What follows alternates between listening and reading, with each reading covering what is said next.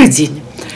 У меня очень часто приходят письма, в которых э, дамы просят поделиться секретами, как противостоять негативу. Может быть, какие-то энергетические упражнения, которые я знаю. Некоторые свои советы я уже выкладывала на канале.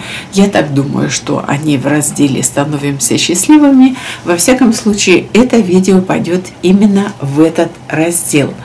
Я сегодня накануне праздника позволю себе познакомить вас с некоторыми такими энергетическими упражнениями, которые могут вам духовно расти, спасут от негативных эмоций, укрепят дух. Давайте попробуем. Итак, первое упражнение фонтан или упражнение магнит. Все зависит от того, где вы в данный момент находитесь. Представьте себя источником доброй энергии и любви. Ощутите вокруг себя источник тепла, радости, добра. А теперь поделитесь этим счастьем с окружающим миром. Искренне и бескорыстно. К вашему источнику тепла и позитива потянутся другие, а перемены в жизни будут в лучшую сторону. Здесь еще и срабатывает принцип «отдавай, а не бери». Отдавайте тепло не желайте совета, не ожидайте ничего взамен. Все случится само собой. Следующее упражнение – кокон – это универсальное упражнение, которое помогает оградиться от агрессии и негатива. Его можно использовать везде, где присутствует негативная энергия. На улице, в общественном транспорте, в магазине. Кокон – это своеобразная энергетическая защита. Представьте, что вы окружены прозрачным светлым коконом. Он – ваша защита. Кокон отразит не только чужие негативные эмоции, но и дурные мысли, и даже злые намерения. Если вы невольно стали свидетелем конфликта, ссоры, скандала, прибегните к упражнению и окружите себя коконом. Защита коконом зависит от личной внутренней силы, состояния здоровья. Важно иметь хорошую концентрацию.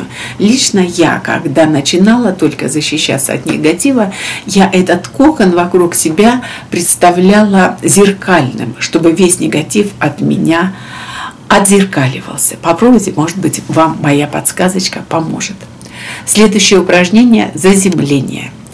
Эффект упражнения для тех людей, которые страдают от неуверенности. Если кто-то разговаривает с вами в неуважительном, агрессивном тоне, в котором чувствуется некоторая претензия, вам поможет техника заземления. Так, во время напряженного диалога, разговора, перепалки, попробуйте перенести внутреннее внимание в область ног. Одновременно займите ваш позицию скалы прочной и надежной. Встаньте на обе ноги, распрямите плечи, будьте для себя обороной и защитой. Укоренитесь в земле.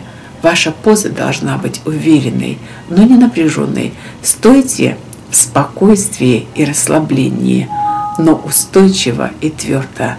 Эффект вас удивит. Следующее упражнение – стакан доброты. Упражнение поможет в случае, если необходимо создать дружелюбную атмосферу, поднять настроение. Перед началом романтического ужина, деловой беседы, вечеринки представьте, что наливаете в кофе своему собеседнику только хорошее намерение. Вместе с визуальным напитком человек выпьет вашу доброжелательность и доброту. Этот ритуал позволяет сконцентрироваться, а положительная энергия передается вашему собеседнику. Излучайте любовь. Я желаю вам счастья. Я желаю вам всего самого лучшего в новом году.